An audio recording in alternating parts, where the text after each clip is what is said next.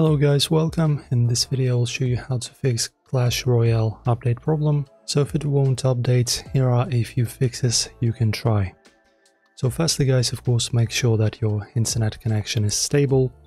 Uh, switch between Wi-Fi and mobile data to see if that solves the problem, sometimes it does. Also guys, go ahead into your phone settings and check if your storage is alright. Because if, uh, for example, your phone is short for storage, it doesn't have any uh, free space to unpack the files and then update the game.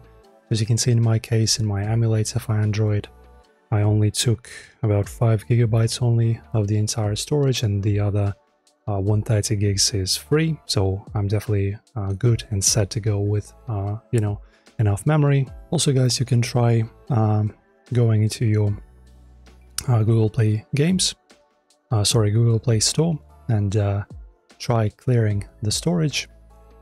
So for example, you go here, you go to manage uh, apps and device, you go to storage, and in here see if you can maybe delete some of the, apps you don't use to free up the space for our update. If it doesn't work, try restarting your phone. Uh, sometimes a quick reboot lets the update go through.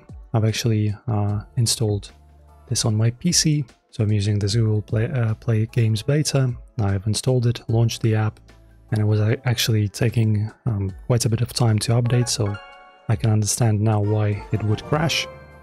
As you can see for me, it's launching, but it's stuck. It was stuck a bit at like 70 or 75%, but in general, as you can see, it's working. So that's how you fix uh, this issue, guys. Uh, if this helps, make sure to like the video and subscribe for more quick fixes.